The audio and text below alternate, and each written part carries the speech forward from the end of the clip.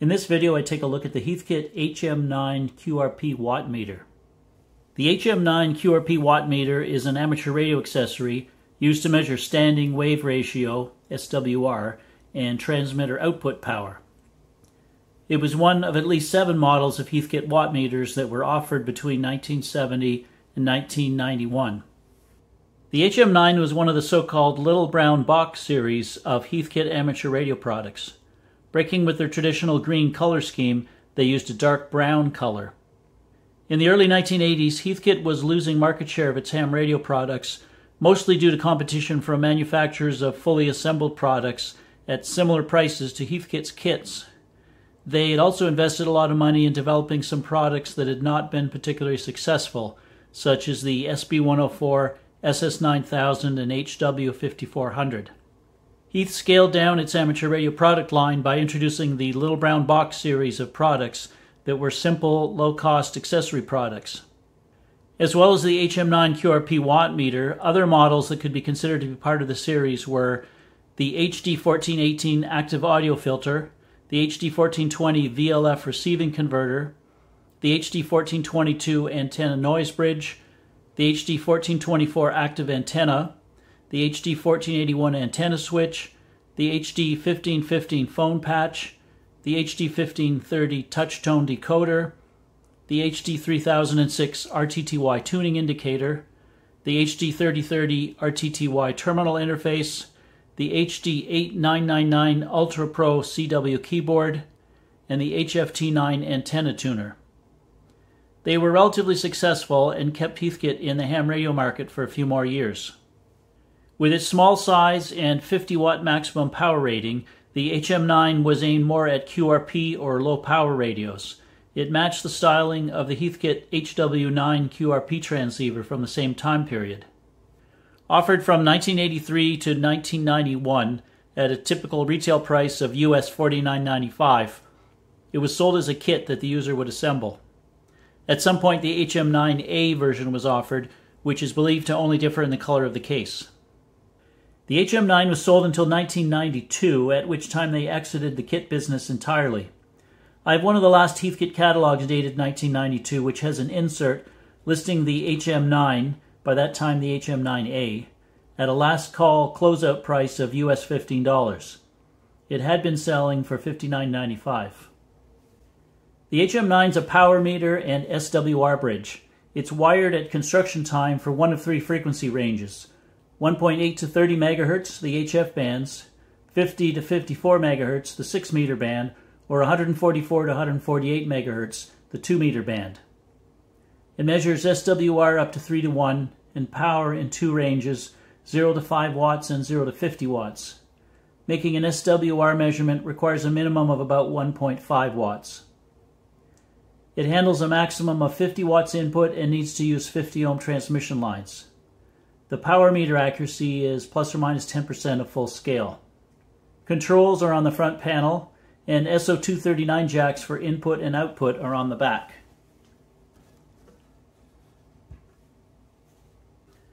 Looking inside, most parts are on a single printed circuit board. Some parts are wired to the controls, switches, jacks, and meter. Note that one capacitor is soldered to the bottom of the PCB. A toroidal inductor is used in the SWR bridge circuit, something that wasn't available to older designs of the 1950s and 60s. This allowed making the unit smaller, simpler, and less expensive. There are no active components, and the unit doesn't require any power source, just the radio transmitter or transceiver. Several resistor, capacitor, and inductor component values differ depending on the frequency range being built for. The kit included parts for all three options. The values of R1 and R8 were changed slightly in later revisions of the unit. I bought this unit on eBay in July of 2025 from a local seller. It was complete but didn't come with a manual. I was able to find a full manual and schematics online. It's the usual detailed manual that Heathkit was renowned for, almost 50 pages with detailed assembly instructions, operation, and circuit description. The unit was in good shape with some scratches on the case. Construction quality was good, and no obvious modifications had been done. Checking the component values used, it had been wired for the 144 to 140 MHz 2 meter band option.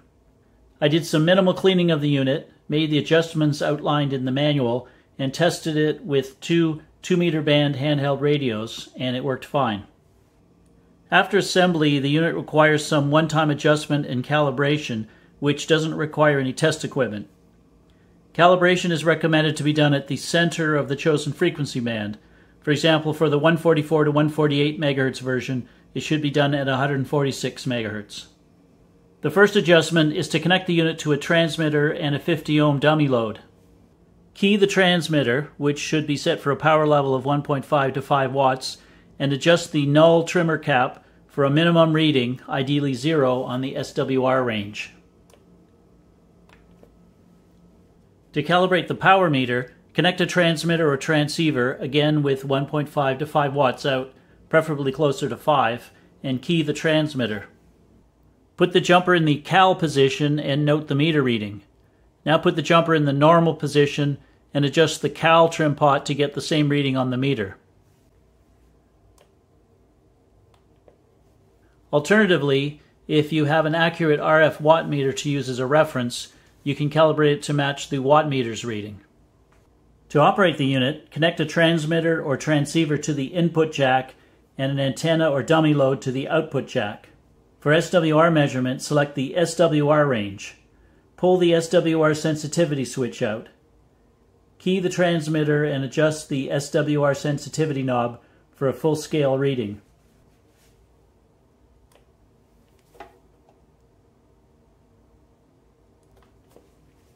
Then push the SWR sensitivity knob in and read the SWR value off of the upper meter scale. The range is 1 to 3.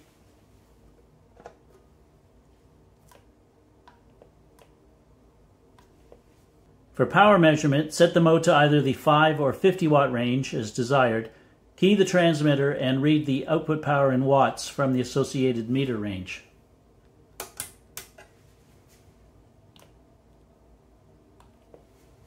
In this case, I'm using a Radio Shack HTX 202 2 meter band handheld and seeing about 3.5 watts of output on the higher power level and less than a watt on low power, about what is expected with the battery I'm using.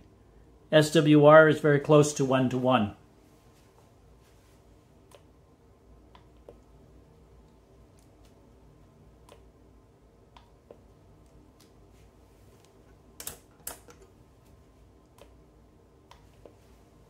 This is the only example I own of the Heathkit Little Brown Box series, which were the last amateur radio kits offered at the end of the kit era.